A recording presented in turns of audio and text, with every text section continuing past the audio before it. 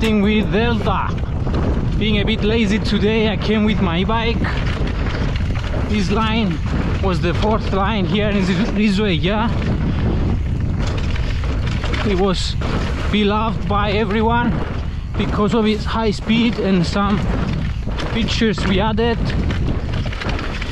At some point, some 4x4s came and destroyed this line, but we rebuilt it and make it again.